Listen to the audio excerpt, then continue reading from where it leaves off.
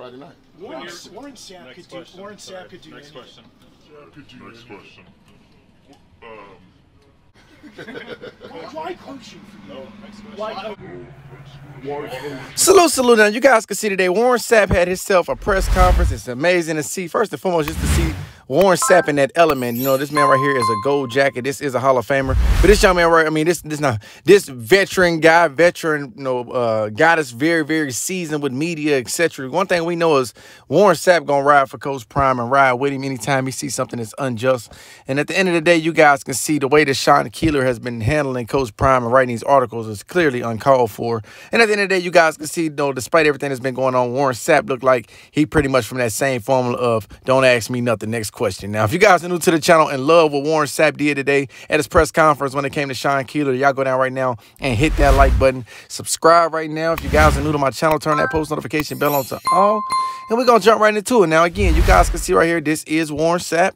Um, this man right here is a you know a great a Hall of Fame gold jacket type of guy, but he's very seasoned with media and he understands different guys like Sean Keeler and their intentions. Now, I ain't gonna hold much of you guys' time. I showed you guys the clip in the beginning. I'll show you it again at the end. I just want to come to my audience and show you guys a little bit of piece right there and know what you guys. I want to hear what you guys think in the comment section below. Now, one thing we know about Sean Keeler, I'm sure he won't like that much. And anytime it's type any type of rumbling, next next thing you know, I'm sure Warren Sapp would be an article that he write about because this man right here clearly had bad intention. And me personally, I don't know why Colorado, I know, I mean, at the end they have to open their doors to the media.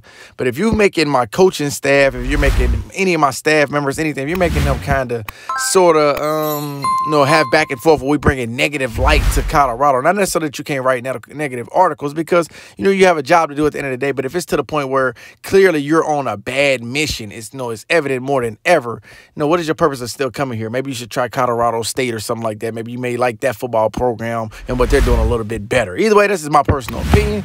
Like I said, man, you guys can see today Warren Sapp and what he did. I don't know what you guys think in the comment section below. Like, comment, subscribe. Thank you so much. Pick it up for Thursday night. We kick this thing off, so it's gonna be nice and loud, and you know we got a defense is gonna have to be out there and loud, and we're gonna need to communicate, and that's what we're gonna simulate that Friday night. Warren, Warren Sapp could do. question. Warren Sapp could do. Next anything. question. Next question.